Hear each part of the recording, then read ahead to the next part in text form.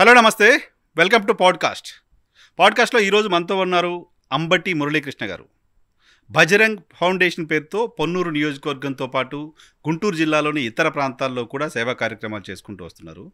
సేవా కార్యక్రమాలు మాత్రమే చేసుకుంటూ వస్తున్న అంబటి మురళీకృష్ణ గారు ఇప్పుడు పొన్నూరులో హాట్ టాపిక్గా మారారు. పొన్నూరులో ఎందుకు హాట్ టాపిక్గా మారారో ఇంటర్వ్యూ చూసిన తర్వాత మీకు అర్థమవుతుంది. వెల్కమ్ టు పాడ్కాస్ట్ మురళీకృష్ణ గారు. నమస్తే. నమస్కారం. వైఎన్ఆర్ గారు. అదేవిధంగా ఈ హటీవీ ప్రేక్షకులకు నా హృదయపూర్వక నమస్కారం ఏంటి అసలు ఎవరు ఈ అంబటి మురళీకృష్ణ? అంబటి మురళీకృష్ణ ఇస్ అంబటి మురళీకృష్ణ. Hmm. ఎక్కడి నుంచి వచ్చారు? ఎక్కడ ల్యాండ్ అయ్యారు? ఎలా ల్యాండ్ అయ్యారు? వసుదా నేను గుంటూరు జిల్లా వాడిని. ఉమ్, మామలపల్లి నా స్వగ్రామం. ఉమ్, పొన్నూరు మండలం. అయితే రేపల్లో ఎక్కువగా పెరిగాం మేము. మా ఫాదర్ అక్కడ అడ్వకేట్గా ప్రాక్టీస్ పెట్టడం వల్ల Hmm. మేమంతా చదువుకున్నది అంతా కూడా అక్కడేనండి అంబటి మురళీకృష్ణ అంబటి రాంబాబు గారు తమ్ముడు అంట అంబటి మురళీకృష్ణ బజరంగ్ ఫౌండేషన్తో ఏదో కార్యక్రమాలు చేస్తారంట. ఇంతేనా? ఇంకేమైనా ఉందా? లేదండి నేను వసుదా బిజినెస్ మ్యాన్ని నేను గత ముప్పై ముప్పై ఐదు సంవత్సరాల నుంచి కూడా ఇన్ఫ్రాస్ట్రక్చర్ వ్యాపారంలో ఉన్నవాడిని. ఉమ్, అంటే రోడ్లు భవనాలు ఇవి చేసుకుంటూ పార్ట్లీగా రాజకీయాలు ఎప్పుడన్నా అవసరమైనప్పుడు నా సోదరుడైన అంబటి రాంబాబు గారికి నేను సహాయ సహకారాలు అందిస్తూ పూర్తి సమయాన్ని ఆ పర్టికులర్ టైంలో అక్కడ వెచ్చించి బ్యాక్ ఎండ్ అంతా నేనే చేసేవాడిని. అంతవరకు నిజం.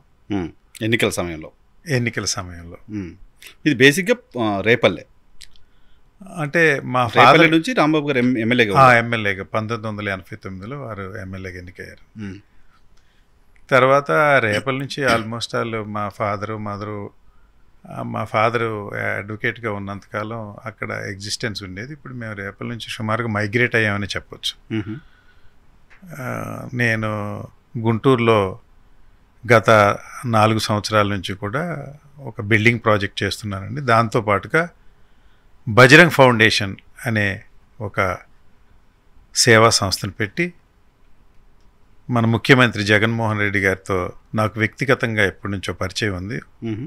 వారు చేస్తున్న సంక్షేమ కార్యక్రమాలకు బాసటగా ఉండాలని వారి స్ఫూర్తితోటి అనేక సేవా కార్యక్రమాల్ని పర్టికులర్గా పొన్నూరు నియోజకవర్గంలో ఎందుకంటే పొన్నూరు నియోజకవర్గం మామిళ్ళపల్లి మా అంబటివారి ఎగ్జిస్టెన్స్ అంతా అక్కడే ఉందండి. గత ఐదు వందల సంవత్సరాల నుంచి కూడా అంబటివారు అక్కడే ఉండడం మా తండ్రి గారు పుట్టింది పెరిగింది.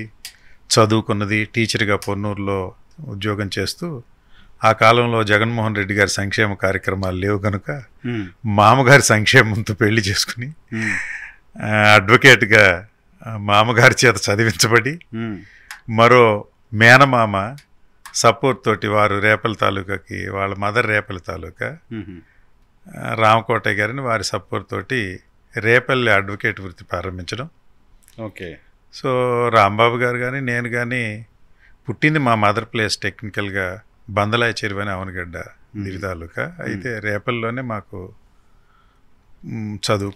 అంతా పెరిగిందంతా అక్కడే. నేను టెన్త్ క్లాస్ వరకు అనుకోండి. ఆ తర్వాత ఇంటర్మీడియట్ గుంటూరు ఆ తర్వాత ఇంజనీరింగ్ కడపలో చేసి సుమారుగా ముప్పాతిగా రాయలసీమ వాడిని కడప వాడిని అయిపోయానని చెప్పవచ్చు నాకు మిత్రులంతా కూడా. కడపలో కడపలో ఇంజనీరింగ్ చేశారా? ఆ, కడపలో ఇంజనీరింగ్ ఎప్పుడు మీకు జగన్మోహన్ రెడ్డి గారు పరిచయం? నాకు సుమారుగా ఒక పాతిక ఇరవై ఏడు సంవత్సరాల నుంచి పరిచయం. ఆయనకే నలభై ఆరు నలభై ఏడు ఉంటాయా? యాభై వచ్చాయి ఇప్పుడు? వారికి యాభై ఒకటి యాభై ఉన్నట్టున్నాయి అందులో దాదాపు ఆయనకి పాతికేళ్ళు ఉన్నప్పటి నుంచి తెలుసు. తెలుసండి నాకు. ఎలా?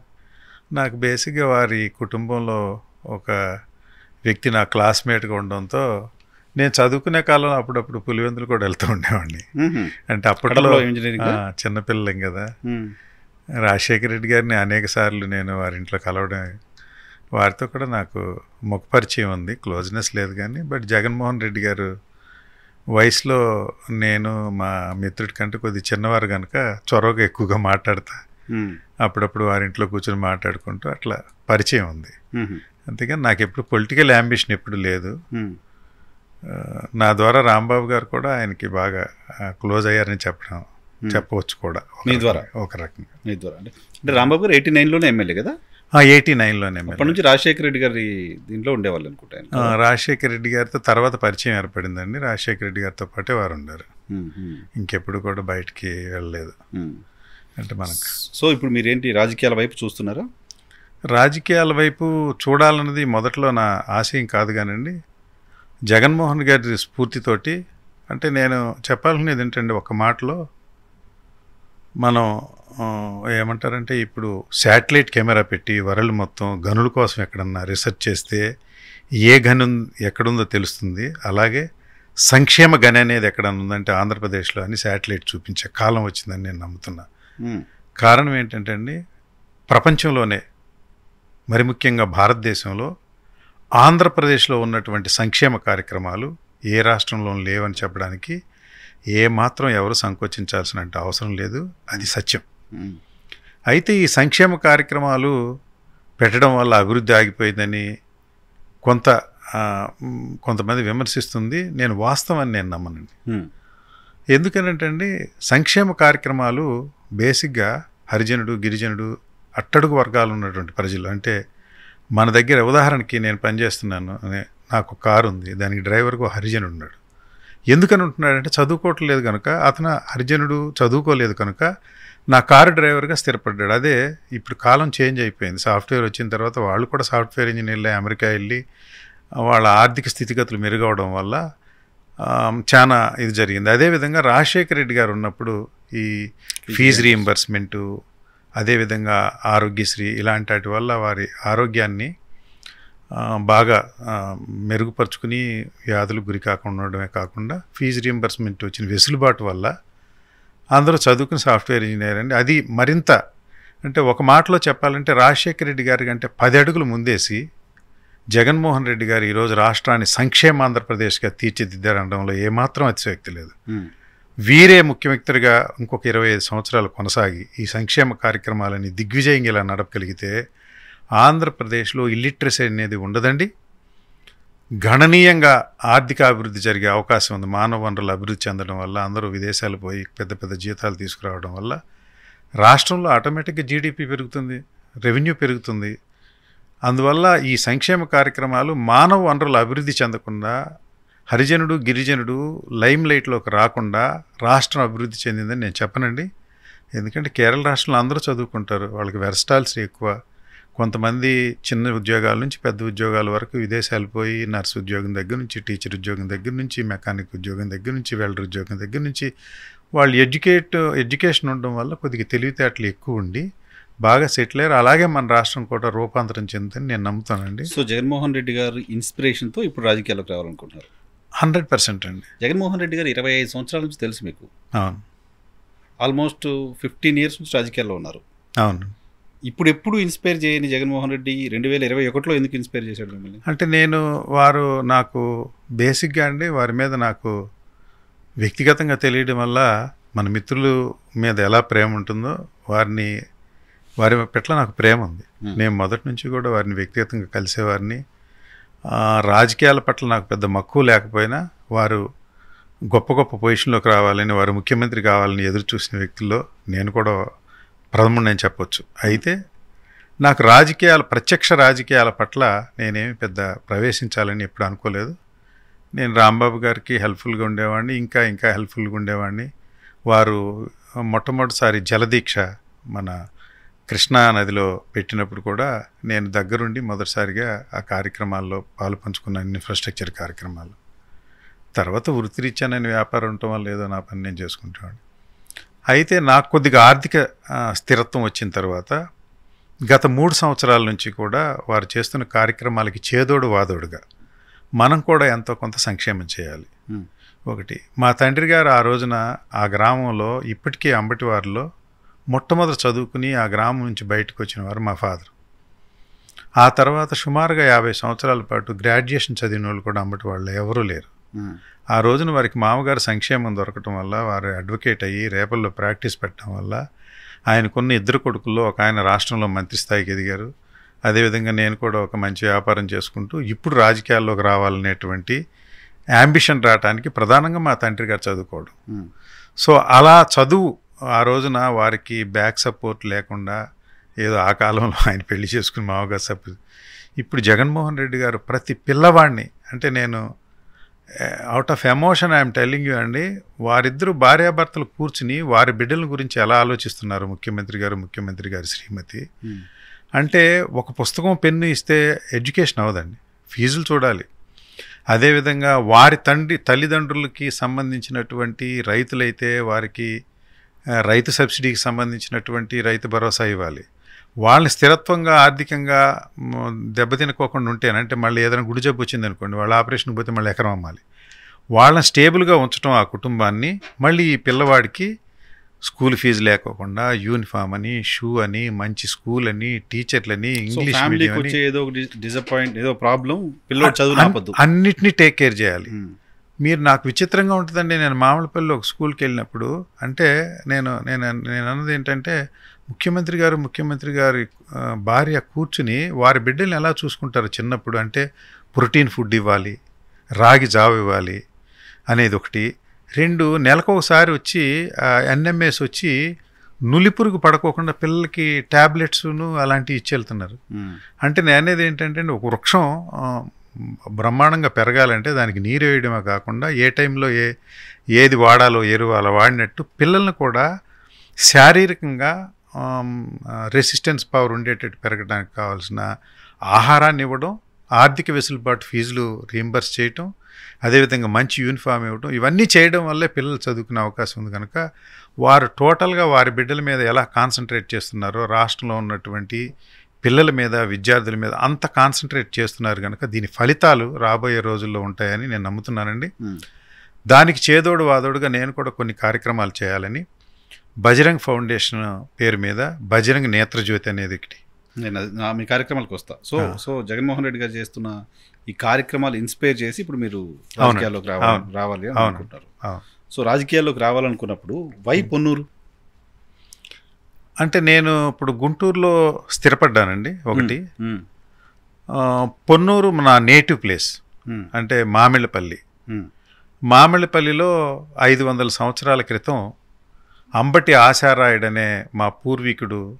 ప్రతిష్ఠ చేసినటువంటి పెద్దేటమ్మ తల్లి ఉమ్.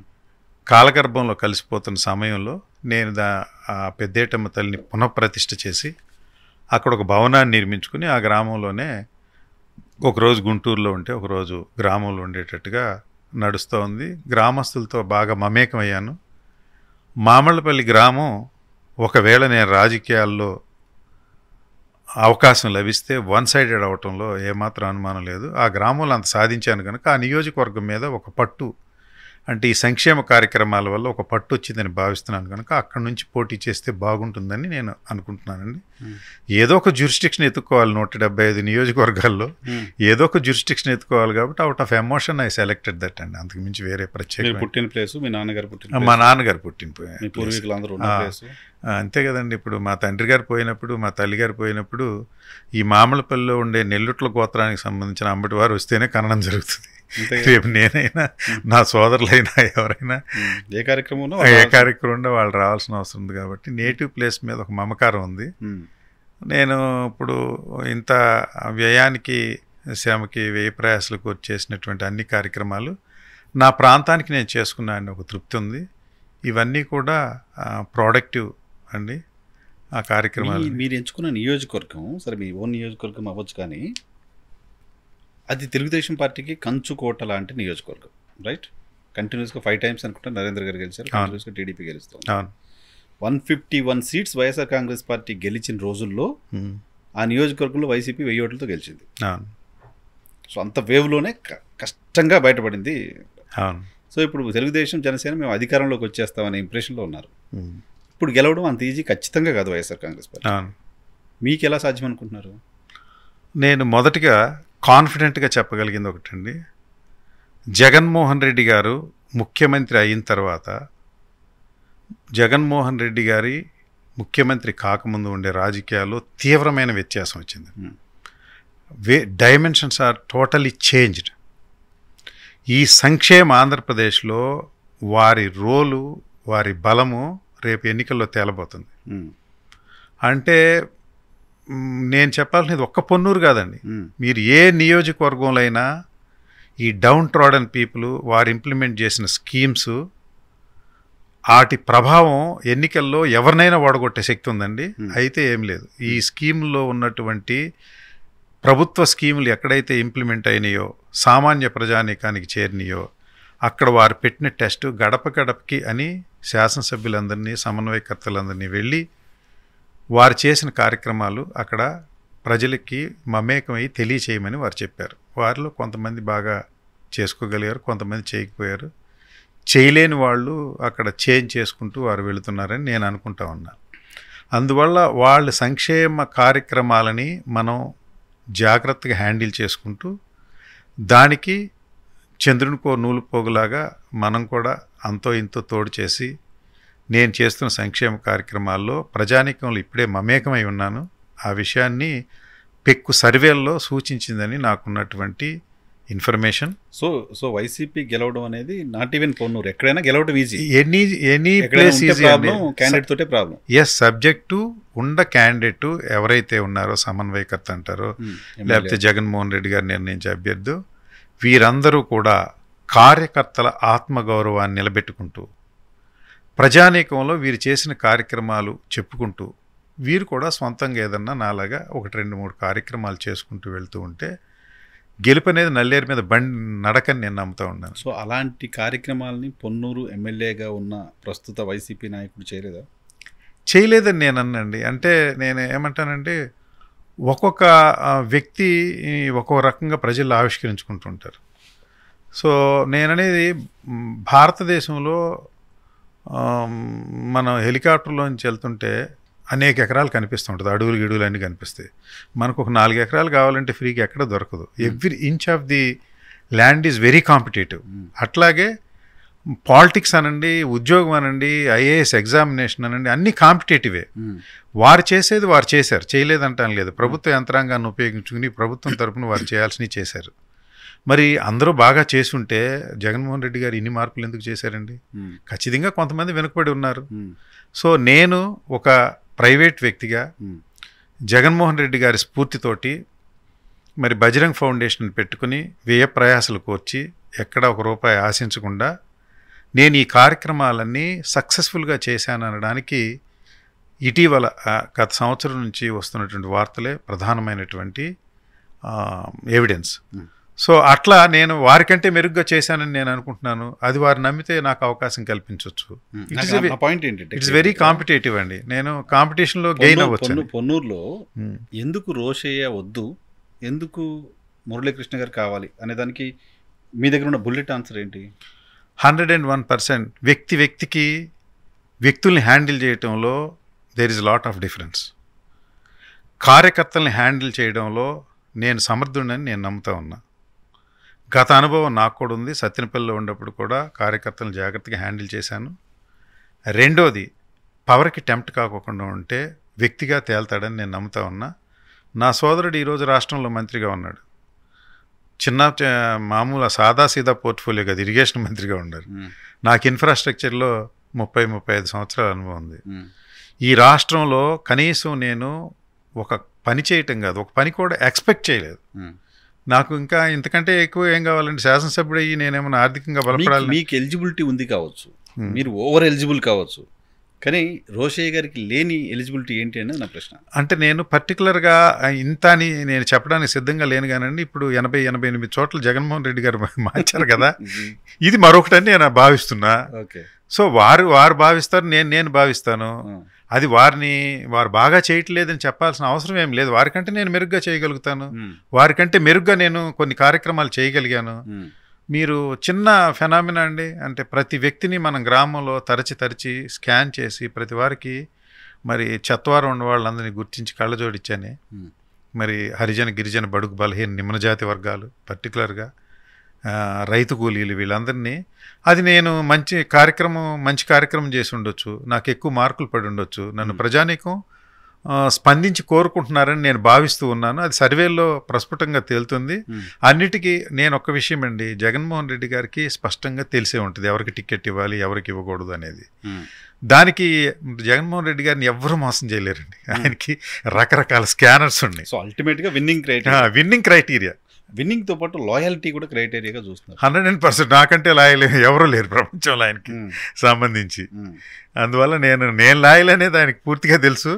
నేను లాయల్ అనగానే ఆయన కుటుంబ సభ్యులే ఇరవై ముప్పై మంది చెప్తారు మురళి ఎప్పటి నుంచో మనతో ఉమ్, లాయల్టీ విషయంలో నా నా నుంచి ఆయనకి ఏమాత్రం. ఇదే లేదు. లాయల్టీ విషయంలో ఇప్పుడున్న ఎమ్మెల్యేతో ఏమైనా ప్రాబ్లం ఉందా? దేని విషయంలో అండి? లాయల్టీ విషయంలో జగన్మోహన్ రెడ్డి గారికి ఇప్పుడున్న ఎమ్మెల్యే విషయంలో నాకు అది స్పష్టంగా తెలియదండి వారు వైఎస్ఆర్ కాంగ్రెస్ పార్టీకి వచ్చిన తర్వాత వచ్చిన వారు ఆ, అంతకుముందు ప్రజారాజ్యం పార్టీలో పోటీ చేసి తర్వాత ఈ పార్టీలోకి వచ్చారు. నేను ఎప్పుడూ వారికి పాతిక ముప్పై ఏళ్ళ నుంచి తెలిసిన వ్యక్తిని. అంటే నేను వ్యక్తిగా తెలుసు. నేను ఏదన్నా అవకాశం ఇస్తే మనతో పాటు ఉంటారా ఉంటారంటే ప్రాణం పోయే వరకు ఆయనతో పాటు ఉంటాననే విషయం వారికి తెలుసు. దాని గురించి నేను ప్రత్యేకంగా చెప్పచ్చు నాది ఎక్కువ అవడం వల్ల ఆయన తక్కువ కూడా అవ్వచ్చేమో లాయల్టీ విషయంలో. Okay okay. పెద్దగా వారు లాయల్ కాదు పెద్ద గీత కాబట్టి వారు లాయల్ కాదని చెప్పడానికి నా దగ్గర ఏమి రైట్. అయితే మీరు సంక్షేమ కార్యక్రమాలు జగన్మోహన్ రెడ్డి గారు సంక్షేమం అభివృద్ధి చేస్తున్నారు కాబట్టి మేము వస్తున్నాం రాజకీయాల్లోకి. అవే గెలిపిస్తే ఇటువంటి పొలిటికల్ మాటలు పడికట్టు మాటలు చాలా మంది మాట్లాడుతూ ఉంటారు. బట్ మీరు ఎమ్మెల్యే కాకముందే జగన్మోహన్ రెడ్డి గారు రాష్ట్రంలో ఏం సంక్షేమ కార్యక్రమాలు చేస్తున్నారో. ఆ తరహా ఒక యాక్షన్ ప్లాన్ ఏదో పొన్నూరులో అమలు చేస్తున్నారంటే ఏంటది? అంటే నేను మీరు ఇప్పుడు అన్నారు కదా పడికట్టు పదాలు అందరూ వాడుతున్నారని. నేను ఇంతవరకు ఏ మైక్లోను ఏ టీవీలోను చెప్తారు. పొలిటీషియన్స్. సంక్షేమం అభివృద్ధి నా విషయం నేను ఎప్పుడు మాట్లాడలేదు. నేను జనరలైజ్ చేసి చెప్తున్నాను గతంలో నిన్న మొన్న ఒక టీవీ ఛానల్ వారు ఇలాగ అడిగితే వారికి కూడా ఇచ్చాను. మరలా మీ దగ్గరికి కూడా వచ్చాను. ఎందుకంటే నేను చేసినటువంటి కార్యక్రమాలు ప్రజావాహినికి తెలుసు. కొంత విషయాన్ని మీడియా ద్వారా తెలియచేయాల్సిన అవసరం ఉంది. ఎన్నికల్లో ఏదన్నా అవకాశం దొరుకుతుందని ఆశపడుతున్నాను కనుక కొద్దిగా ఎక్స్పోజ్ చేసుకోవటం మంచిది. అవేర్నెస్ పెంచుకోవటం అవసరమనే దాని మీద నేను చెప్తా ఉన్నానండి. నేను సైలెంట్గా రెండు సంవత్సరాల నుంచి ఈ కార్యక్రమాలన్నీ నియోజకవర్గంలో చేసుకుంటూ వస్తూ ఉన్నా. ఒకటి బజరంగ్ అనేది యాక్సిడెంటల్గా బజరంగ్ లొకేషన్లో గుంటూరు బజరంగ్ సెంటర్లో నేను ప్రాజెక్ట్ చేస్తున్నా కాబట్టి బజరంగ్ అర్బన్ ఇన్ఫ్రా అనేది నా కంపెనీ పేరు. దానిలో నుంచి బజరంగ్ ఫౌండేషన్ అని పెట్టుకున్నాను బజరంగ ఏదో హిందుత్వ ఆర్గనైజేషన్ ఏం లేదు నథింగ్ అండి. నేనంత మత ఛాందసుని కాదు. నేను కూడా పేరు కూడా అది యాక్సిడెంటల్గా పెట్టిందే కానీ. ఏదో హనుమంతుడు అని వస్తుంది అనుకుంటా బజరంగ్ అంటే. పర్టికులర్గా ఏం లేదండి. ఇప్పుడంతా అంబటి మురళీకృష్ణ అనే వ్యక్తిగతమైన పేరే ఎక్కువగా వాడుతూ ఉన్నాను ఏంటి మీరు చేసిన కార్యక్రమాలు ఏంటి అక్కడ ఒకటండి నేత్రజ్యోతి. అంటే అరవై ఎనిమిది గ్రామాలు ఉన్నాయండి పొన్నూరులో ఇప్పటికి ఏడు గ్రామాలు మినహాయించి అన్ని గ్రామాల్లో ఐ క్యాంప్ ఐ క్యాంప్ అంటే చాలామంది పెడుతుంటారు చుక్కల మంది వేసి వెళ్ళిపోతుంటారు అట్లా కాదు. మార్నింగ్ ఎనిమిది గంటలకు క్యాంప్ స్టార్ట్ అయితే ఈవినింగ్ ఫైవ్ ఓ క్లాక్ వరకు క్యాంప్ ఉంటుందండి ఉమ్. Latest equipment. అంటే కంప్యూటరైజ్డ్ టెస్టింగ్ మెషిన్స్ ఉమ్. ఆటో రిఫ్రాక్టరీ మెషిన్స్ రెండు మూడు తీసుకుని వచ్చి ఒక పెద్ద బెటాలియన్ ఒక పదిహేను ఇరవై మంది ఉంటారు అదే కాకుండా క్యాంప్ అంటే సుమారుగా వంద మంది అండి. ఇంక్లూడింగ్ ఇన్ఫ్రాస్ట్రక్చర్ టీంతో కలిపి ఉమ్. ఒక క్యాంప్ అంటే మార్నింగ్ నుంచి ఈవినింగ్ వరకు అందరినీ ఐ చెక్ చేయటం వన్ వీక్లో ఫ్రీ కళ్ళజోడు ఉమ్. వెరీ క్వాలిటేటివ్ కళ్ళజోడు. అంటే మీరు బజార్లో షాప్లో కొనుక్కుంటే ఎలా ఉంటుందో ఒక నాలుగైదు సంవత్సరాల పాటు పనిచేసేది అంతే. అది వెళ్ళి మీరు ఏదో రెడీమేడ్గా ఏదో ఒకటి తెచ్చి మనం అప్పుడప్పుడు టక్కిని కళ్ళ కళ్ళు కనపడకపోతే ఎక్కడో చోట పాయింట్ ఫోర్ పాయింట్ ఫైవ్ అని రాసి. అది కాదు. ఇది వ్యక్తిగత కళ చూడండి. వాళ్ళ వాళ్ళ అంటే లెఫ్ట్ ఐకి ఏమి సైట్ ఉంటుంది రైట్ ఐకి ఏమి సైట్ ఉంటుంది ఇది. ప్లస్ ముందే బాగా సిస్టమేటిక్గా ఒక కార్డు పచ్చ కార్డు ఒక కార్డు ఎర్ర కార్డు. పచ్చ కార్డు అంతా లేడీస్ ఎర్ర కార్డు అంతా జెంట్స్. అంటే ఈ పచ్చ కార్డు వెళ్ళి మ్యానుఫ్యాక్చరింగ్ దగ్గరికి వెళ్తే ఆటోమేటిక్గా లేడీ ఫ్రేమ్ వచ్చేస్తుంది దానికి. ఓకే. దీనికి రెడ్ కార్డుకి జెంట్ ఫ్రేమ్ వచ్చేస్తుంది. అంటే వ్యక్తిగత కళ్ళజోడు ప్రస్తుత కాలమాన పరిస్థితుల్లో కొద్దిగా నీట్గా ఫ్యాషనబుల్గా ఉండేది. క్వాలిటేటివ్గా ఇచ్చాం కనుక అది ఒకటి మంచి ప్రతిష్ట అండి. ఇంకోటి సరే కళ్ళజోడు అంటే పాపం కళ్ళు కనపడిన వారికి గ్రామాల్లో ఉండే మరి పల్లెల్లో ఉండే ముసలమ్మని ఎవరు తీసుకెళ్ళి రెండు మూడు నాలుగు వేల రూపాయలు ఖర్చు పెట్టి పట్టణానికి తీసుకెళ్ళి టెస్ట్ చేయించి కళ్ళజోడు ఇప్పించే ఆర్థిక వెసులుబాటు ఉండాలి బిడ్డలు పట్టించుకోవాలి. వాళ్ళ వాళ్ళందరినీ కూడా మరి గడప గడపకు జగనన్న ఆరోగ్య పథకం అనే పథకంలాగా నేను చేసుకుంటూ వెళ్తున్నాను అండి. రెండోది బజరంగ్ మీగుండె పదిలం. అంటే గ్రామంలోనే అక్కడే అదే క్యాంప్లో. ఇంకొక రూమ్లో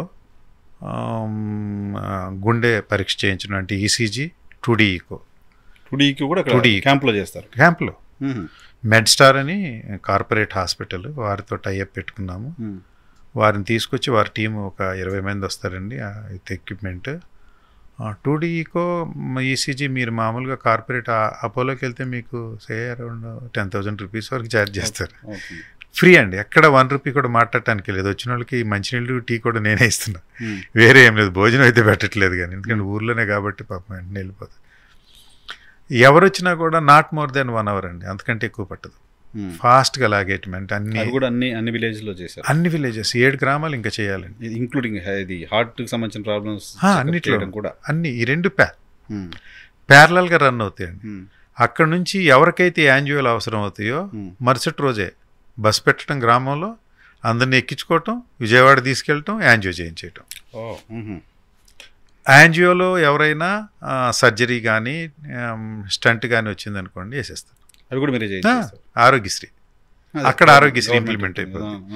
గవర్నమెంట్ని పార్షియల్గా వాడుకుంటూ నేను కొంత చేయడం అని నేను అన్నాను ఇందాక శాసనసభ్యులు బాగా చేయలేదంటే హండ్రెడ్ పర్సెంట్ శాసనసభ్యులు ఈ- పనులన్నీ చేయొచ్చండి. అంటే జగన్మోహన్ రెడ్డి గారు పెట్టినటువంటి ఆరోగ్యశ్రీ పథకం ఎవరికో స్ట్రోక్ వస్తే స్టంట్ వేయటానికి కాదు.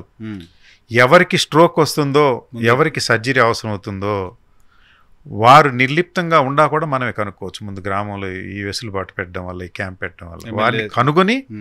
ముందే ప్రికాషనరీ మెజర్స్ తీసుకోవటం వల్ల ప్రాణాన్ని కాపాడవచ్చు అనేటువంటి కాన్సెప్ట్. ఇది ఒక శాసనసభ్యుడిగా వారి పరిధిలో ఇది hundred and one percent implement చేయొచ్చండి. మ్మ్. ఇంకా నేనంటే ప్రైవేట్ పర్సన్ కాబట్టి ప్రతి షామియానా ప్రతి పెండేలు ప్రతి రూము లేకపోతే ఈ ఎక్విప్మెంటు ఇవన్నీ హైర్ చేసుకుని రావాలి. గవర్నమెంట్ హాస్పిటల్ ఉంది అర్బన్ హెల్త్ సెంటర్ ఉంది పబ్లిక్ హెల్త్ సెంటర్ ఉంది ఏ ఏఎన్ఎంస్ ఉండారు ఆశా వర్కర్స్ ఉండారు మరి జనరల్ హాస్పిటల్ ఉంది వీటిని అన్నిటినీ ఒక ఇది చేసుకుంటే మీకు ఉదాహరణకి నేను అక్కడ దాకా ఎందుకండి? మెడ్స్టార్ హాస్పిటల్ ఉంది కదా విజయవాడ నేను చేస్తుంది? జీజీహెచ్ గుంటూరులో వారు క్యాత్ ల్యాబ్ ఉంది.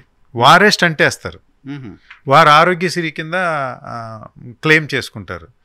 హాస్పిటల్ ఏం చేయదు. వాళ్ళకి సబ్లెట్ చేశారు గవర్నమెంట్. ఓకే. అంటే ఫెసిలిటీ బాగా జరుగుతుంది ఒక కార్పొరేట్ హాస్పిటల్ అనే పద్ధతిలో. అది పాత ప్రభుత్వంలో ఇచ్చినటువంటి క్యాత్ ల్యాబ్.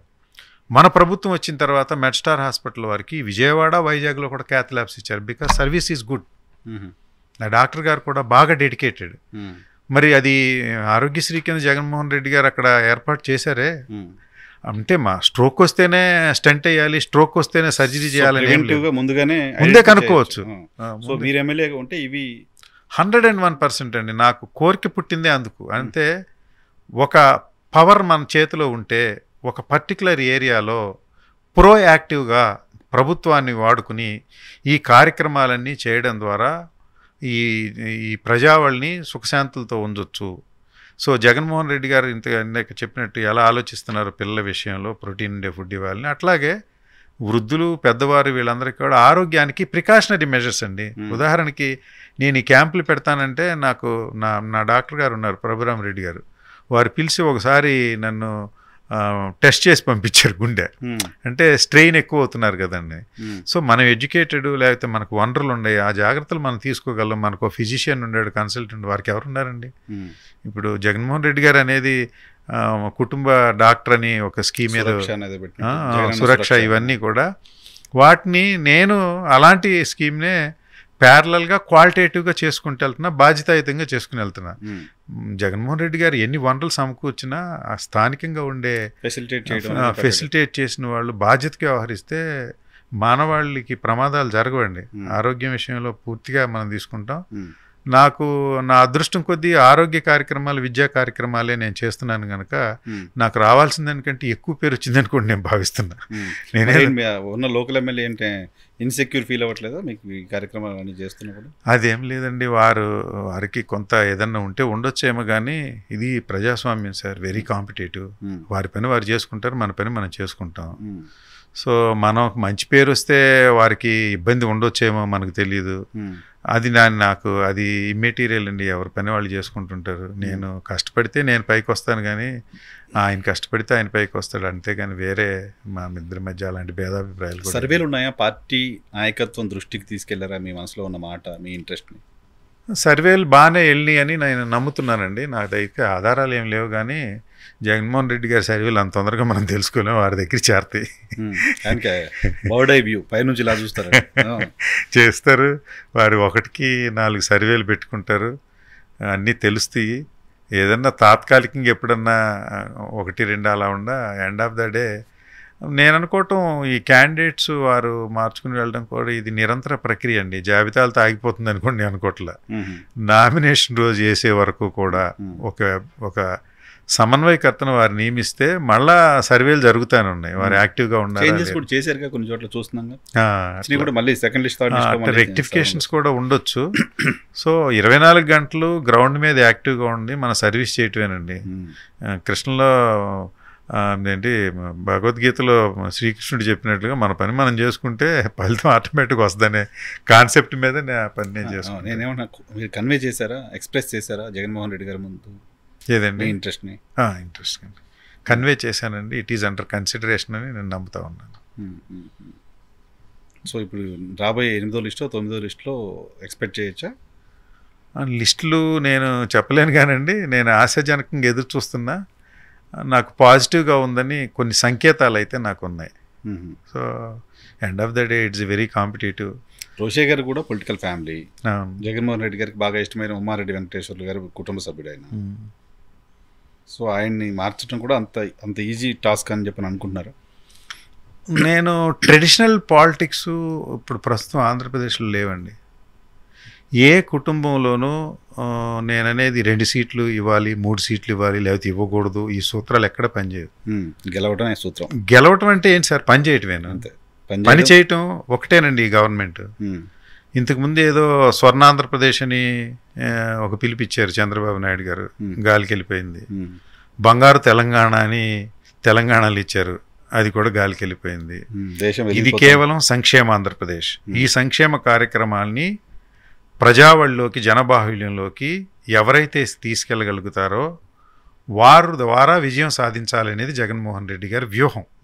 ఆ కార్యక్రమాలు నేను వారి ప్రభుత్వ కార్యక్రమాలు ప్రభుత్వ స్కీములు వాడుకుంటూ నేను కొన్ని చేదోడు వాదోడుగా కొన్ని కార్యక్రమాలు కలుపుని గ్రామ గ్రామాన ఈ కార్యక్రమాలు సో చేశాను ఎమ్మెల్యేలుగా ఉన్న వాళ్ళు గడప గడపకు వెళ్ళారో లేదు కానీ మీరు ఎమ్మెల్యే కాకుండానే గడప గడపకు తిరిగేసినట్టు ఆల్మోస్ట్ అక్కడ? అంతేనా? ఊరూరికి శిబిరం గడప గడప అని చెప్పలేను ఊరు శిబిరం అంటే ఊరూరికి ఆల్మోస్ట్. ఆ ఊరిని టచ్ చేసినట్టే కదా. వెళ్ళడం అంటే అంటే నేను అడ్వాన్స్ గానే ఉన్నానండి ప్రభుత్వం సురక్ష పెట్టక ముందే రెండు సంవత్సరాల నుంచి నేను శిబిరాలు సంవత్సరాల. క్రితమే స్టార్ట్ చేశారు? సో ఆ తర్వాత ప్రభుత్వం పెట్టింది స్కీమ్ అంటే నేను అట్లా చెప్పదలుచుకోలేదు కానీ ప్రాబబ్లీ నేను ఐడెంటిఫై చేసుకున్న లైన్ నాకు అడ్వాంటేజ్ అయ్యి ఉండొచ్చు జగన్మోహన్ రెడ్డి గారి దగ్గర. So Hmm. ప్రతిదీ కూడా నేను అందుకే ఏ కార్యక్రమం అయినా ముందు సక్సెస్ అవ్వగానే ఒక జాకెట్ షీట్ ఇచ్చేస్తానండి సాక్షి పేపర్లు. ఉమ్, అంటే వివరాలన్నీ. Hmm. నేనేం చేశాను? Total data very transparent thalassaemia చిన్నారుల కోసం జగన్మోహన్ రెడ్డి గారి జన్మదినం రోజు ఇరవై ఇరవై ఒకటి సంవత్సరంలో ఒక బ్లడ్ క్యాంప్ పెట్టానండి. పద్నాలుగు వందల అరవై తొమ్మిది బ్లడ్ యూనిట్స్ని సింగిల్ డే తీశాను.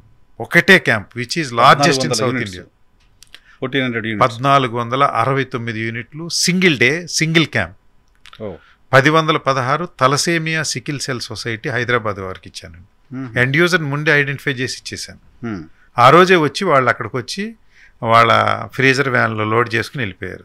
నాలుగు వందల అరవై మూడు చిల్ల జీజీహెచ్లు ఇచ్చాను. ఎండ్ యూజర్ని ఐడెంటిఫై చేశాను. నేను ఇక్కడ చెప్పాలనేది ఏంటంటే తలసేమియా చిన్నారులకి జగన్మోహన్ రెడ్డి గారు ప్రభుత్వం పదివేల రూపాయలు పెన్షన్ ఇస్తుంది. ఇది అంతకుముందు అవేర్నెస్ లేదు. జాకెట్ షీట్ ఇచ్చాను అదే మెన్షన్ చేస్తూ. వారు పదివేల రూపాయలు తలసేమియా చిన్నారులకి పెన్షన్ ఇస్తున్నారు.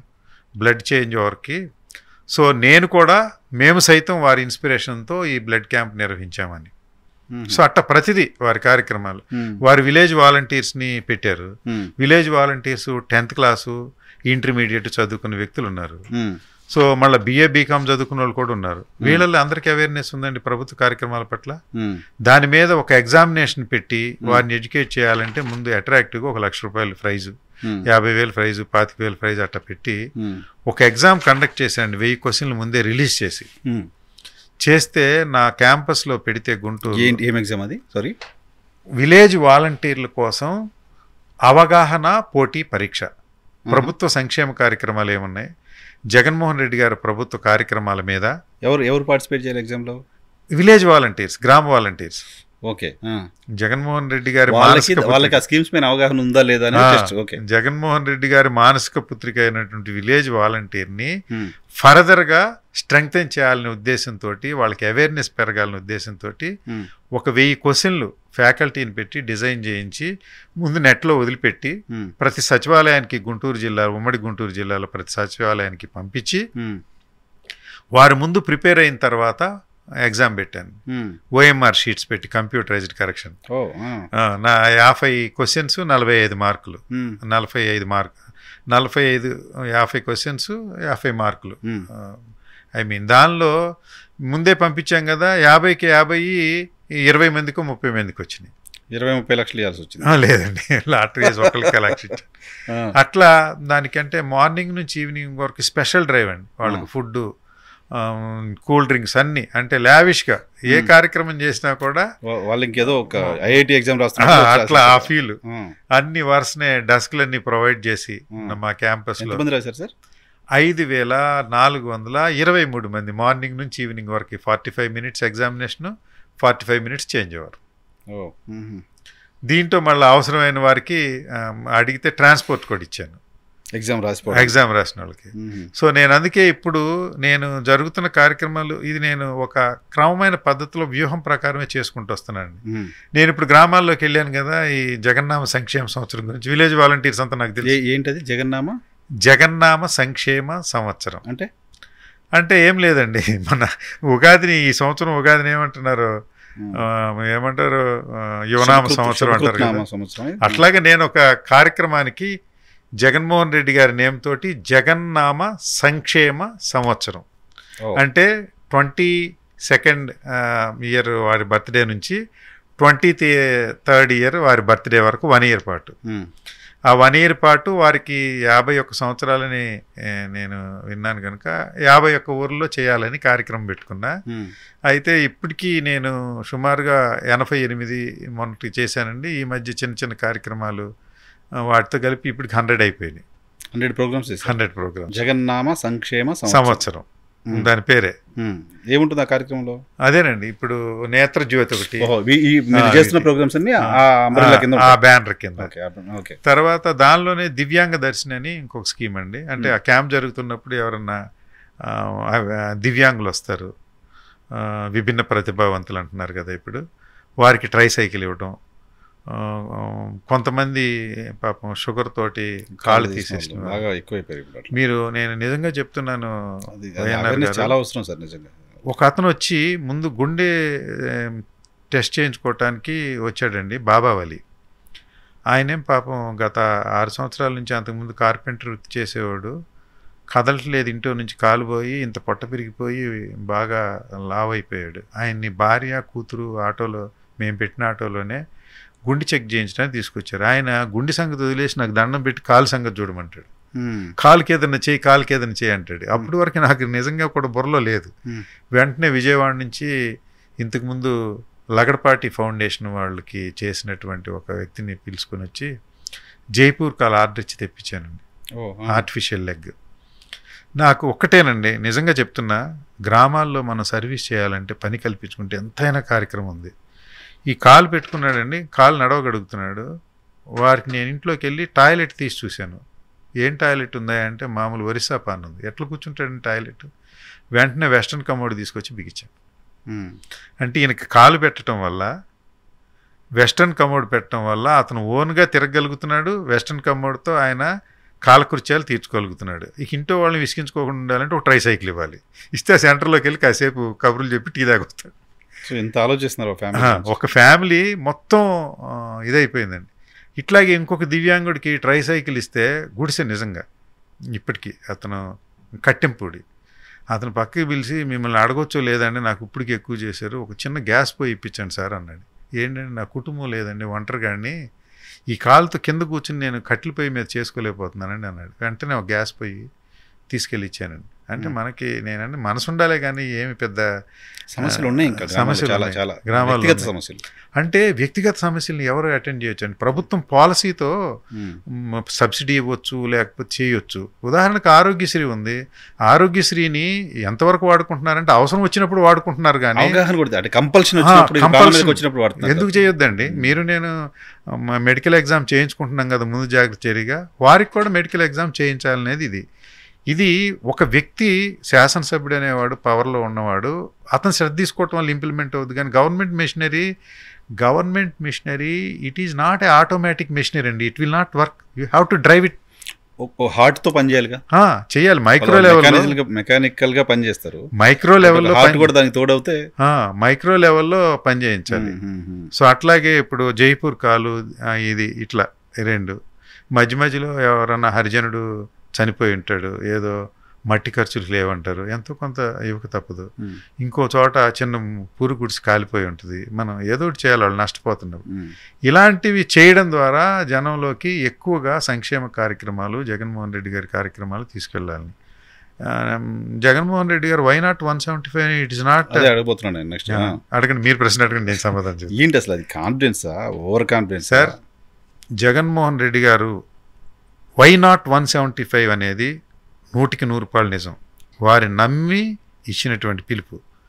నేను కూడా నమ్ముతున్నానండి నూటికి నూట డెబ్బై ఐదు గెలుస్తాయి ఎలాగయ్యా అంటే సబ్జెక్టు జగన్మోహన్ రెడ్డి గారు ఆంధ్రప్రదేశ్లో నూట డెబ్బై ఐదు నియోజకవర్గాల్లో వారు నామినేషన్ ఫైల్ చేస్తే including Kuppam everything he will be elected as MLA. But Hmm. Which is not possible. ఒక వ్యక్తికి.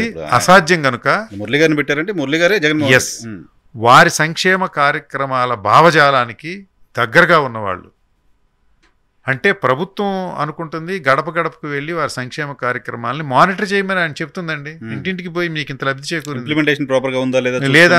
కావాలేమో అడగండి సో ఆ కార్యక్రమాలు వారి భావజాలంతో నాలాగా ఏకలవ్య శిష్యులు వారి పిలుపుని అందుకుని ఈ కార్యక్రమాలన్నీ చేసిన వ్యక్తుల్ని వారు అభ్యర్థులుగా నియమించడం ద్వారా నూటికి నూట డెబ్బై ఐదు గెలుస్తాయి ఎక్కడన్నా ఒక సీటు ఓడిపోయిందంటే ఉమ్.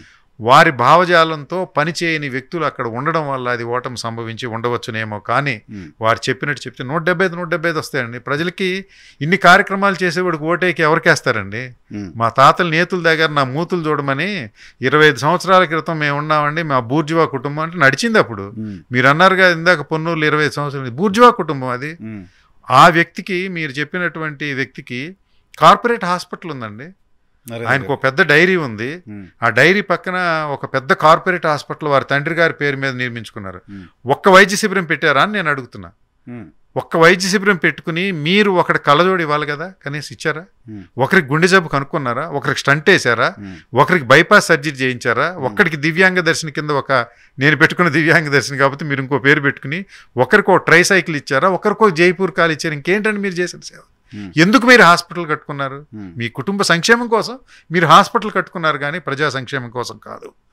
ప్రజా సంక్షేమం జగన్మోహన్ రెడ్డి గారు చెప్పిన రీతిలో మనం ప్రజలతో మిళితమయ్యి ప్రజల్లో మమేకమై చేయగలిగితే ఏ వ్యక్తి వాడని నేను నమ్ముతున్నానండి. That is called one seventy five one seventy five. వారు వన్ సెవెంటీ ఫైవ్ వ్యక్తులు వారికి దొరక్క ఏదన్నా ఒకటి రెండు రాలిపోవచ్చేమో కానీ. నేను నేను హండ్రెడ్ పర్సెంట్ నేను నమ్ముతున్నాను. వన్ సెవెంటీ ఫైవ్ పక్కా. పక్క.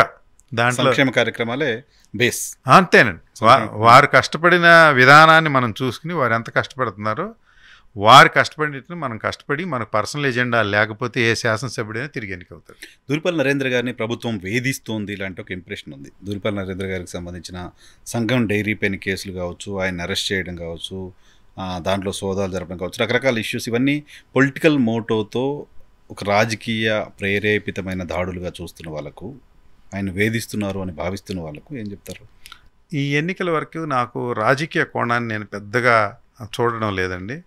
నేను కేవలం భావోద్వేగంతో ఈ సంక్షేమ కార్యక్రమాలను డ్రైవ్ చేయడం వల్ల ఇంతకు ముందు ఉన్నటువంటి శాసనసభ్యులు ఈ సంక్షేమ కార్యక్రమాలు అప్పుడు ప్రభుత్వాల్లో కూడా లేవు అది వేరే విషయం.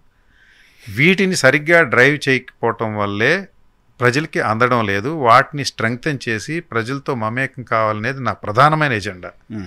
ఈ రాజకీయాల్లో ఇప్పుడున్నటువంటి ఎన్నికల్లో నేను పొలిటికల్గా పెద్ద ఎజెండా పెట్టుకోదలుచుకోలేదు. కాలానుగుణంగా ఎన్నికల ప్రచారంలో ఏమన్నా వస్తే అప్పుడు వాటిని నాకు మనసులో నేను నమ్మిన దాన్ని ప్రజాబాహ్యంలోకి చెప్పాలని అనుకుంటున్నాను కానీ మీ పార్టీగా మీ పార్టీ పైన వస్తున్న ఆరోపణ కదా అది మీ పార్టీ మీ పార్టీ వేధించింది అని చెప్పి చెప్తున్నప్పుడు అది అది నేను part of YSR Congress party? అది నేను వైఎస్ఆర్ కాంగ్రెస్ పార్టీ కార్యకర్తలతో మమేకమైన రోజున Hmm. అలాంటి కార్యక్రమాలు ఏమైనా ఉంటే చేపడతాను ఇప్పుడు ప్రస్తుతానికి నేను సంక్షేమంలో మొత్తం చేస్తున్న మీ సంక్షేమ కార్యక్రమంలో ఎక్కడ వైఎస్ఆర్ కాంగ్రెస్ పార్టీకి సంబంధించిన కార్యకర్తల ఇన్వాల్వ్మెంట్ ఆ నెట్వర్క్ లేదా అందరూ ఉంటారండి మరి? కాకుంటే ఇక్కడ పార్టీ జెండా ఏం లేదు ప్రస్తుతానికి. సో మీ ఎజెండా కూడా ఓన్లీ సంక్షేమం ఎజెండా. అంతేనండి. రాజకీయ రాజకీయాలు అసలు ఎవరు మాట్లాడరండి? వస్తారు మామూలుగా పిలుస్తారు కాఫీదే కాఫీకి తీసుకెళ్తారు ఇంటికి ఆ గుళ్ళోకి తీసుకెళ్తారు కొబ్బరికాయ కొడతారు గ్రామస్తులు అందరూ వస్తారు. కానీ నేను రాజకీయాలు మాట్లాడను వారు రాజకీయాలు పెద్దగా మాట్లాడరు. మామూలుగా జనరల్ ఇన్ జనరల్ మాట్లాడుకుంటాం. మరి మడిగట్టు కూర్చున్నామని నేను చెప్పను కానీ నేను ఎవరి మీద విమర్శ చేయలేదు ఇంతవరకు. అందరినీ ఒక కోణంలో నేను చూసుకుంటూ నా నేను ఒక్కటేనండి. నేను చేస్తున్న సంక్షేమం కష్టపడి చేస్తున్నానండి. వేయి ప్రయాసాలకు వచ్చి. చాలా ఇష్టపడి ఇది ఎక్కడ ఇష్టపడి చేస్తున్నా ఇది ఎక్కడా కూడా పక్కరు దోవ పట్టకూడదని ఎక్కడ రాజకీయ విమర్శలు చేయడం లేదు. నేను రేపు ఎన్నికల్లో నన్ను అభ్యర్థిగా నియమిస్తే నేను ఛాలెంజ్ విసరాలనుకున్నది నేను చేసిన సంక్షేమ కార్యక్రమాలు మీరు ఎందుకు చేయలేకపోయారు? మీకు నేను డేటా మొత్తం నేను సందర్భం వచ్చినప్పుడు వివరిస్తానండి. వారి సామాజిక కులంలో పేదలను కూడా నేను ఆదరించిన సందర్భాలు కోకొల్లు ఉన్నాయి మీకు చూపిస్తాను సహా. పేదలంటే సామాజిక? అందరూ అంతే కదా ఊళ్ళో నేను అంటుంది ఏంటంటే అండి ఐ మీన్ అగ్రవర్ణాల్లో కొంతమంది పెద్దవాళ్ళకి. పెద్ద కులం వారు పెద్ద ధనవంతులు మోతుబరులు వీరికి గర్వం ఎక్కువ అనుకుంటే నో. అగ్ర కులాల్లో అన్ని కులాల్లో కూడా జగన్మోహన్ రెడ్డి గారి పెన్షన్స్ తీసుకుంటున్న వారు ఉన్నారు. వారు కూడా కళ్ళజోడు కొనుక్కోలేని వారు ఉన్నారు. వారు కూడా గుండెని చెక్ చేయ వారందరినీ నేను టచ్ చేశాను. నాకు ఒకటేనండి బీద బిక్కి జనమే నా ఎజెండా. అంతే. మధ్యతరగతి నుంచి కింద పైనుండి వాళ్ళు మన దగ్గరికి రావడానికి వాళ్ళకి రిజర్వేషన్స్ ఉండొచ్చు బట్ పెద్ద పైనుండి వాళ్ళు కూడా వస్తున్నారు sir because of our quality. Um, అంటే దే ఆర్ అప్రిషియేటింగ్. నేను ఒకటేనండి besides this down trod and people vocal group కూడా they are appreciating me like anything. అది నేను గుర్తించాను. ఎందుకంటే క్వాలిటీ అండి. ఉమ్, అంటే మనం ఎంత నిబద్ధతగా ఆ కార్యక్రమం చేసాం అనేదండి. నేను ఏం ఆశిస్తున్నా అనేది సెకండరీ అండి. వాస్తవం చెప్పాలంటే నిజంగా బాగా కార్యక్రమాలు చేసిన వాడు ఆశిస్తే తప్పేంటండి? ప్రజానాయకుడు కావాలనుకుంటే. Definitely. అదే వాళ్ళే. ఇంకా వైడర్గా చేయడానికి అవకాశం ఉంది. వైడర్గా చేయటానికి అవకాశం. సో ఏంటి అంబటి రాంబాబు గారితో ఎలా ఉంది? ఇంతకు మా సోదరుడు అండి ఎలా ఉంటుంది అంతా ఆయన ఉంటుంది. ఆయన ఆయన కోసం ఎలక్షన్లో పనిచేశారు ఆయన కోసం గడప గడపకు తిరిగారు. ఆయన్ని మధ్యలో వదిలేసి వచ్చారు మంత్రి అయిపోయిన తర్వాత. అట్లేం లేదండి. అంటే నేను అంటే బేసిక్గా నా తత్వం ఏంటంటే అండి నేను సలహాలు ఇచ్చి కూర్చునే మనిషిని కాదు. కొద్దిగా పనిచేసి వదిలే మనిషిని కాదు. సర్వం నేనై చేసుకునేది ఏదైనా నా కుటుంబ కుటుంబాల్లో సంబంధించినటువంటి కార్యక్రమాలనండి. వారి ఎన్నికల కార్యక్రమాలనండి. ఏ కార్యక్రమమైనా మనం చేపడితే ఉదాహరణకి రెండు వేల పద్నాలుగు ఎన్నికల్లో తోట చంద్రశేఖర్ గారితో ఉండేవాడిని నేను ఆదిత్య కన్స్ట్రక్షన్ కంపెనీలో. ఓకే. వారికి నేను జగన్మోహన్ రెడ్డి గారికి అనుసంధానం చేయడం వల్ల వారు ఏలూరు నుంచి పార్లమెంట్ అభ్యర్థిగా పోటీ చేశారు. తోట చంద్రశేఖర్ వైసీపీ నుంచి చేశారా? అవునండి టూ థౌజండ్ ఫోర్టీన్లో. Fourteen okay. ఫోర్టీన్లో. నేను చీఫ్ ఎలక్షన్ ఏజెంట్ ఉండి సర్వం నేనే చేశాను. అందువల్ల నేనేంటంటే ఎక్కువ ఇన్వాల్వ్ అయ్యి కార్యక్రమాన్ని కొద్దిగా పకడ్బందీగా చేయాలనేటువంటి తపన. అప్పట్లో వారికి చేసిన మాట వాస్తవం. తర్వాత నా వృత్తిరీత్యా నేను వ్యాపారం చేసుకుంటూ ఉన్నాను. రెండోది ఏంటంటే నాకు పెద్ద ఈ ప్రభుత్వాన్ని వాడుకోవాలని ఏదన్నా స్వల్పకాలిక లబ్ధి పొందాలని నేను అసలు చాలా మంది ఓ సెక్షన్ ఆఫ్ మీడియా ప్రధానంగా తెలుగుదేశం మీడియా అంబట్ రాంబాబుకి ఒక షాడో ఎమ్మెల్యే లాగా మురళి తయారయ్యారు సత్తెనపల్లిలోని వార్తలు రాశారు. చదివాను నేను. అసలు దాంట్లో తప్పేముందండి? ఎమ్మెల్యే వెనకాల ఉండి కొన్ని కార్యక్రమాలు మంచి కార్యక్రమాలు చేస్తే వాళ్ళు షాడే ఎమ్మెల్యేని పెట్టుకున్నారు. ఉమ్. అది అది వాళ్ళు పెట్టుకున్న ముద్దు పేరు మనమేం డినై చేయొద్దు. సో.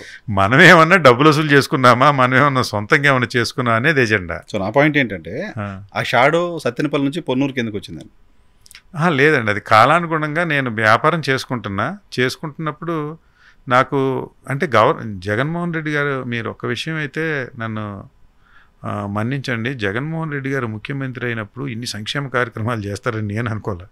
నాకు సర్ప్రైజ్ అది ఉమ్, వారు అందరు ముఖ్యమంత్రులాగా రొటీన్గా ఉండకపోవచ్చు కానీ రాజశేఖర రెడ్డి గారి కంటే మెరుగ్గా ఉంటారేమో ఇంకా వారి కుమారులు కనుక ఆ- ఆ నాలెడ్జ్ వారికి ఉంది కదా అనుకున్నా కానీ రాజశేఖర రెడ్డి గారి కంటే వీరు పది అడుగులు ముందుకేశారు ఉమ్, సో ఆ స్ఫూర్తితోటి నేను నిజంగానే నాకు అంటే కొన్ని నేను చెప్పాలనుకునేది ఏంటంటే అండి ఈ సంక్షేమ కార్యక్రమాలు లేకపోతే బజరంగ్ ఫౌండేషన్ సేవా కార్యక్రమాలు చేసేటప్పుడు సిన్సియర్గా నాకు మోటివ్ లేదు. చేసుకుంటే వెళ్తుంటే తపంలోటి కోరిక రావచ్చు. అంతేగాని ఇది కాలానుగుణంగా వచ్చిన కోరిక అండి అంతేగాని రాజకీయాల్లో ఉంటే నేను రాంబాబు గారిని అడిగి ఈసారి నాకు పోటీ చేయాలని ఉంది లేకపోతే ఇంకో నియోజకవర్గం వెళ్తానని అంటే ఆయన వారు కాదంటారా? అడగలేదా? నాకు అప్పుడు లేదండి ఆ కోరిక. ఇప్పుడు ఇప్పుడు ఇప్పుడు అడిగారా ఇప్పుడు ఇప్పుడు వారికి తెలుసు తెలియదే ఉంది. అంటే నేను లేకపోతే ఆయనకి చిన్న ఇబ్బంది ఉంది ఎందుకంటే ఆయన సొంతంగా చేసుకోవాలి కనుక ఆయన స్వార్థం మించి వేరే నథింగ్ అండి ఏముండదు. అట్లా. సో అన్నదమ్ములు బాగానే ఉన్నారు. అట్లాంటి విషయాలు ఏమి లేవండి. మీరు రెండు రోజులు పక్క పక్కన నిలబడి ఫోటో దిగకపోయినా గొడవలు వచ్చేసినాయని రాసేస్తాను. లేదు నే అట్లా కదండి. వారిని వారి శాసనసభ్యులు అవటానికి తోడ్పడ్డాను. వారి కాలానుగుణంగా మంత్రి అయ్యారు. ప్రధానమైనటువంటి మంత్రి అయ్యారు. నిజంగా ఉన్నత స్థానంలో ఉన్నారు. నేనేమి రూపాయి ఆశించలేదు నా పని నేను చేసుకుంటున్నా. ఇంకెందుకు ఉంటుందండి నేనేదన్నా అక్కడ షేర్ కావాలా పవర్ షేర్ కావాలా లేకపోతే డబ్బులు ఏదన్నా కార్యక్రమాలు ఉంటే డిఫరెన్సెస్ వస్తాయి. ఎందుకంటే నా వల్ల చెడ్డ పేరు వచ్చే పరిస్థితి ఉంటే ఎవరు నేను కర్నూలులాగా బయటకు వచ్చినవాడిని త్యాగం చేసి వచ్చినవాడిని ఉమ్. నాకు అలాంటిది ఏమీ లేదు. నిజానికి మంత్రి పదవి వచ్చిన తర్వాత అందరు పోగవుతారు. అవును. మీరు వదిలేశారు.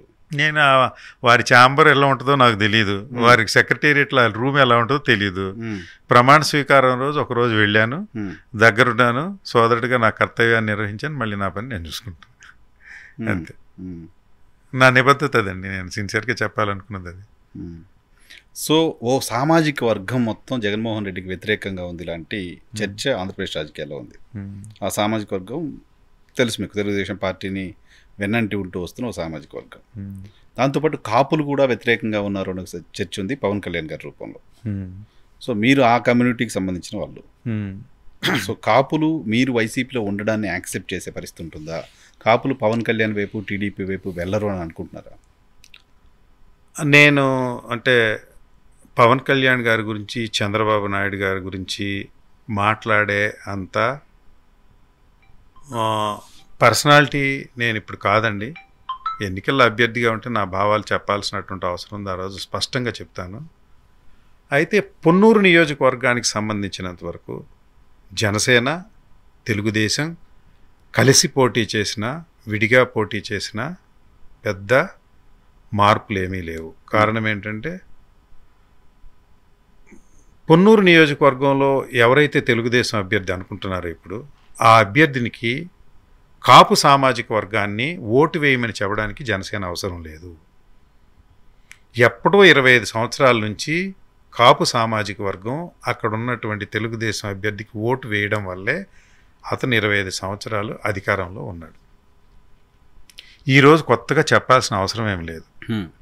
బట్ నేను ఒకటి చెప్పాలనుకునేది ఏంటంటే కులమతాలకు అతీతంగా మడికట్టుకుని కూర్చున్నానని నేను చెప్పాలని అనుకోవడం లేదు కానీ నా తల్లి కాపుకులం నా తండ్రి కాపుకులం నా బంధువులు కాపుకులం సో కులం లేకుండా లేదు. బట్ కుల ఛాందసవాదం ఉండకూడదు అనేది నా అభిప్రాయం కానీ అందరు కులాలని సమానంగానే చూడాలి కానీ కుల ఛాందసం ఉండాలని లేదు. కాపు కులం ప్రతిష్ట పెరిగే విధంగా. కాపు కులంలో కూడా ఇలాంటి వ్యక్తి సంక్షేమ కార్యక్రమాలు చేస్తూ గ్రామ గ్రామాన మంచి కార్యక్రమాలు చేసి మన కుల ప్రతిష్ట పెంచాడనే అనుభూతి వాళ్ళకి మిగిల్చడం ద్వారా గణనీయంగా కాపు కులంలో ఓటు నేను తెచ్చుకుంటాను నాకు నమ్మకం ఉంది. అదే తెలుగుదేశం ఫెయిల్యూర్ కాపు గౌరవాన్ని పెంచే ప్రయత్నం పవన్ కళ్యాణ్ గారు చేయట్లేదని?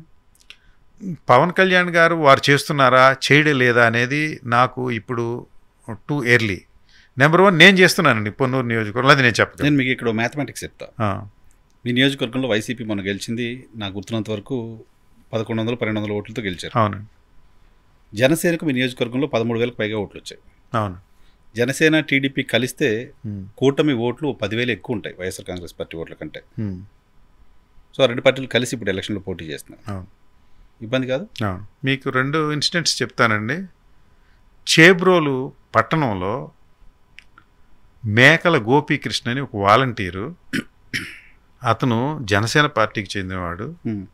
ఈ ప్రభుత్వంలో village volunteer Ranga Vangaveeti Mohan Ranga flexi pole కడుతూ షాక్ కొట్టి చనిపోయాడు. వారిని అక్కడున్న ప్రముఖ నాయకులు అన్ని పార్టీలకు చెందిన వ్యక్తులు వాళ్ళని కలిశారు. కానీ వాళ్ళకి ఆర్థిక సహాయం చేసింది అంబటి మురళీకృష్ణ ఒక్కడే. అదేవిధంగా మామళ్ళపల్లిలో నా ఇంటి వెనకాల శంకర్ అనే ఒక యాక్టివ్ జనసేన వర్కర్ అంటే నిజం చెప్పాలంటే కొంత ఆస్తి కూడా పోగొట్టుకున్నాడు అనుకున్న స్వల్ప ఆస్తి. జనసేన కోసం. జనసేన కోసం. అతను స్ట్రోక్ వచ్చి బ్రెయిన్ స్ట్రోక్ వచ్చి చనిపోయాడు. నేను అలర్ట్ అయిపోయి డాక్టర్లతో మాట్లాడి బ్రతికించడానికి ప్రయత్నం చేశాను కానీ బ్రతకలా. అతని కుటుంబాన్ని ఆర్థిక సహాయం చేసి కాపాడింది నేను ఒక్క నాయకుడు వారి దగ్గరికి రాలేదు. జనసేన అనేది నేను ఏమైనా అండి జనసేన అనండి తెలుగుదేశం అనండి వైఎస్ఆర్ కాంగ్రెస్ పార్టీ అనండి అభ్యర్థి అక్కడ ఉన్నటువంటి వ్యక్తుల కష్ట సుఖాల్లో ఎలా మమేకమవుతాడో ఆ పక్షాన ఓటింగ్ పోతుందని నేను నమ్ముతున్నానండి. నూటికి నూరు పాళ్ళు పొన్నూరు నియోజకవర్గంలో జనసేన అంతా నాకు సహకరిస్తుందని నేను నమ్ముతున్నా కాపుకులం అంతా నా వెనుకుంటుందని నమ్ముతున్నా. దాంతోపాటుగా జగన్మోహన్ రెడ్డి గారు ఇచ్చిన ఓటు బ్యాంక్ని పదిలంగా నేను తీసుకెళ్ళి పోలింగ్ చేసుకోగలిగాను నమ్ముతున్నా కార్యకర్తల ఆత్మగౌరవం నింపే విధంగా వారందరినీ కూడా కార్యోన్ముఖులు చేయగలనని నేను నమ్ముతున్నాను కనుక ఖచ్చితంగా నేను అక్కడ నాకు అవకాశం లభిస్తే విజయం సాధిస్తానని నేను నమ్ముతా ఉన్నాను right sir all the very best thank you all the very best thank you thank you you, మా కోసం sir. సమయం కేటాయించినందుకు ఇది అంబటి మురళీకృష్ణ గారితో స్పెషల్ పాడ్కాస్ట్ అక్కడ ఎన్నికల్లో టికెట్ కోసం చాలా ఆశాభావంగా ఉన్నారు. ఎన్నికల్లో టికెట్ తాను ఎమ్మెల్యే కావడం కోసం కాదు నియోజకవర్గంలో ఎమ్మెల్యే అయితే ఎలా సేవ చేయొచ్చు అనే దానికి సంబంధించిన ఒక ఎక్స్పెరిమెంట్ ఎక్స్పెరిమెంట్ని రెండేళ్ళుగా చేశాను. ఎమ్మెల్యే అయితే అంతకంటే అద్భుతంగా చేయగలను అనేది మురళీకృష్ణ గారు చెప్తున్నమాట. చూస్తూనే ఉండండి ఈ టీవీ.